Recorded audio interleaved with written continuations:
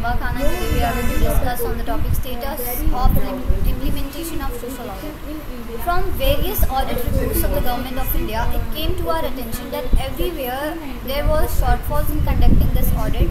India is the largest democracy in the world and has the highest population in the world. Corruption was thus rampant because there was hardly any strong system to combat and eradicate corruption at every stage. Vote bank politics uh, is there with very ruling party. Freebies to be promised, uh, promised while an election is around the corner as very much there, uh, there with the ruling government as social audit was thus uh, intended on paper to check our content, extent of uh, and bad, uh, bad work on the spot of execution. The government is publish, uh, publishing widely the effectiveness of social audit on paper, but the reality is that no one in government is giving so much importance to this audit. There is no awareness. With the highest percentage of illiterate people, there is no awareness even in cases where some people are little aware of the audit on the spot.